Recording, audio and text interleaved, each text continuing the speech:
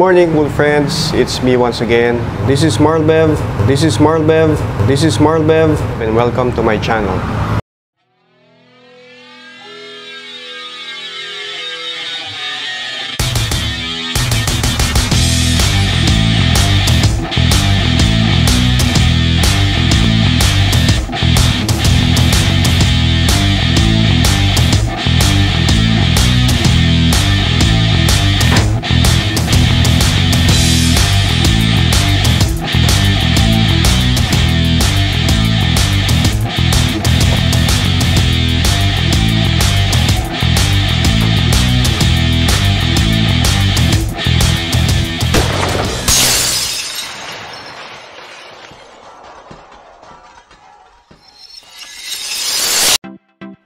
So what's up pool friends? It's me once again, your pool buddy, Marl Bev. And uh, today's discussion in this video, pag-uusapan natin ay tungkol sa pagpapasunod ng bola or in English, it's a follow-through shot. I'll leave link below regarding doon sa ating pagpapaatras ng bola. So bakit ko na nasabing pagpapaatras ng bola? Dahil uh, basically ang fundamental sa follow-through ay same also with the uh, draw shot. So parehas lang siya. So we'll start with the uh, one object ball. Then we go with the 2 feet uh, 2 feet distance. Then we go with the 3 feet. Hanggang sa palayo tayo ng palayo. So we go to the uh, very basic ng uh, uh, follow through. Just like yung ating uh, draw shot. So kagaya nung pagpapaatras ng bola kung paano magpa-atras ng bola. Simulan natin sa pinaka-basic. So, mag-start tayo sa isang bola. Tirahin natin sa kung saan talaga yung patama ng follow-through which is dun sa itaas. So, let's shoot as many ball as we can para ma-mindset yung ating mata at ang ating pulso at ang ating tumbok kung saan titirahin yung follow-through. So, ang ginagamit ko dito ay stripe ball para makita nyo yung uh, patama ng bola. Kung diretso ba hindi magwawabol yung stripe ng bola. Pag nagwabol yun ibig sabihin hindi siya nasa sentro. Yung patama ko ng tip medyo napaling. Ang problema kasi pag pumaling yung tama mo ng tip doon sa bola tendency parang semi mase so parang namamasi siya. So pag namasi mo yung cue ball ibig sabihin iba yung pupuntahan ng object ball kaya, hindi mo masushoot. Kahit ma-follow through mo siya, hindi siya shoot sa bola. Tingnan mo itong 10, slow mo ko. Kung mapapansin nyo diretso yung takbo ng stripe na blue. So, yun yung ibig ko sabihin. Papraktisin natin yung takbo ng pagkadiretso ng patama at yung center ball doon sa tinatamaang bola. So, ngayon, subukan natin dito sa mid pocket dahil dito tayo mag-start ng follow through with two balls. So, ngayon, isang object ball lang muna. Pa-practicing natin yung stroke.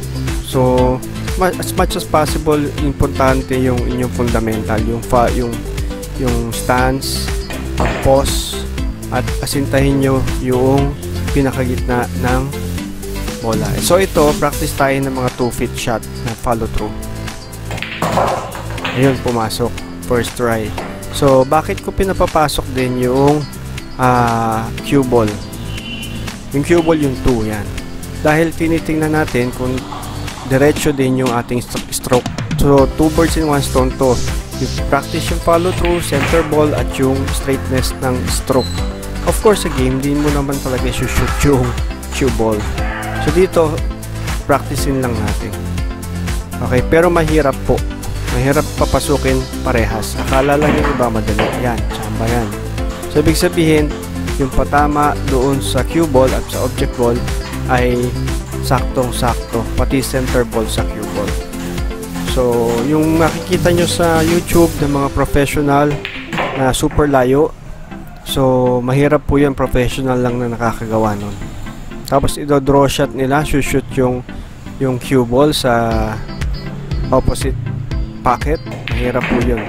Yan. Kasi mamali, sabi ko nga, mamali ka lang ng patama sa tuktok, ay parang semi-masay na ang labas ng iyong tira. Papaling na siya. So, practice lang kayo na kung kung mga ilang bola, 10 o 20 ball hanggang sa magkaroon kayo ng muscle memory kung saan nyo titirahin yung feel kasi ang, ang billiard is a game of feel the more you practice the more you get consistent and memorize all the shots so ayun.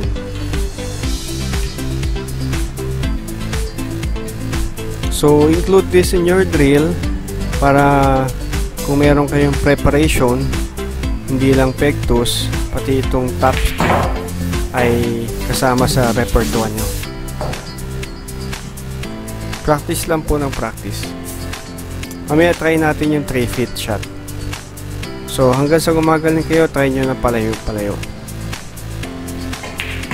ako po ay tsambahan lang dun sa malayong tira pero never never ko nagagawa consistently malayo. Hanggang ano lang po ako hanggang 3 feet, 4 feet shot.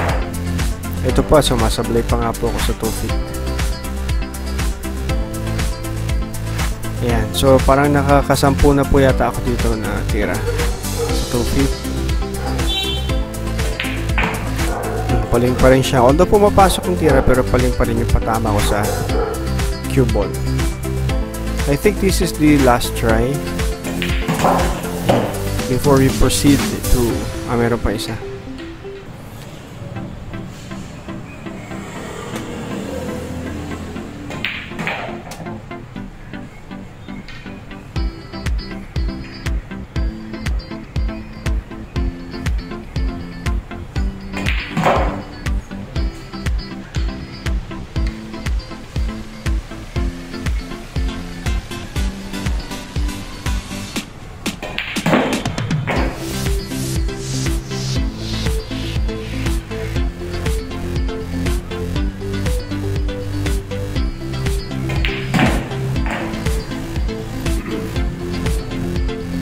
Okay, ngayon tingnan natin yung 3 feet shot. Oh, see? Ang layo yun ng violet. Pumunta sa kanan. Siguro medyo hindi diretso yung patama ko sa cue ball. Ayan, medyo diretso pa. Although sablay na sablay an inch. Sablay yung sa is. So, dapat diretso diretso. Ayun, muntik na. Siguro yung post ko, hindi ako na masyado nagpo-post. Tinitira ko diretso agad. So, very important po ang fundamentals natin dito. Ayun, nag-pause ako dun. Pero sablay pa rin. Half an inch yung sablay ko doon. So, it's very important establish yung stance nyo, yung pre-stroke, yung eye alignment. So, here I'm doing a uh, almost 4 feet shot or 3 and a half feet shot na follow through, diretso. Yun, medyo malakas doon pero medyo napunta sa kaliwa. The objective is papasukin ko yung yellow tsaka yung green magkasunod. Hindi lang po yung yellow.